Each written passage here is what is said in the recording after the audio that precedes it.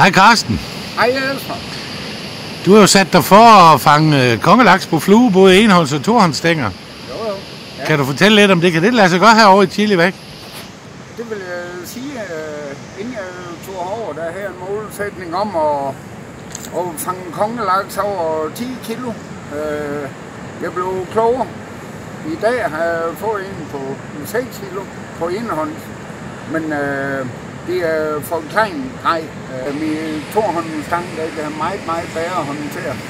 Øh, uh, laksen herude, øh, fordi de, de første er hårdere, og det var jo 10-15 kilos laks, vi fejlede på øh, tohåndsstangen, så øh, det har været over alt forventet. Det har det. Har, jeg har fået en 14,5 kilo, og har haft fisk på, der er meget større, øh, liner, og ja, jeg er blevet klogere, så jeg er meget bedre forberedt næste gang, jeg kommer over, hvor jeg har lært at fight fisken ordentligt, og det har jeg bøvlet meget med.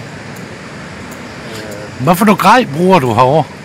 Altså, hvad vil du anbefale? Øh, jamen, det er delt mening om, men øh, jeg bruger meget øh, skatteliner, meget tunge liner.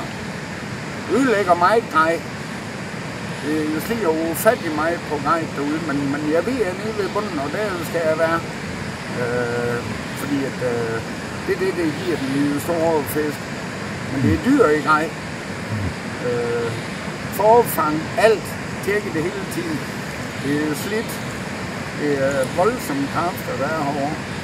Så, øh, men øh, en vanvittig tur. Ja. Er, der, Alle øh, forventninger indfri er der mange steder, Karsten, man kan fiske med flue herovre, eller er, der, er, der, er vandet for hårdt? Øh, ja, mange steder, men, men øh, nu har jeg kun mødt 5-6 steder over, fordi at jeg blev, blev meget fascineret af her, vi har gået i 10 dage nok, men det er her, jeg fanget. Så, øh, men vandet er meget hårdt ude, og det er også derfor, det er vigtigt, man har tunge liner, kommer ned til bunden, øh, der hvor fælsen er. Men øh, det er åbenbart mig med vandstand og alle mulige over vandet, Det har været faldende i 10 dage. I starten, hvor det var meget hårdt vand, der er man nødt til at bruge. Jeg bruger skatteliner. Som øh, tip 14, 18. Så ved jeg nede på bunden. Og det giver jo fisk. Det er i hvert fald virke. Ja. Har du fanget flere fisk end øh, på traditionel fiskeri? Ja, altså, der har jo nok været 80 kongelaks på land, og 200 fights. Mistet det rigtig, rigtig mange. Men øh, i går, der prøvede jeg noget, der var vanvittigt. Øh, det var jo sølvlaks, lige herovre i. over bag ved herovre, der går alle sølvlaksene.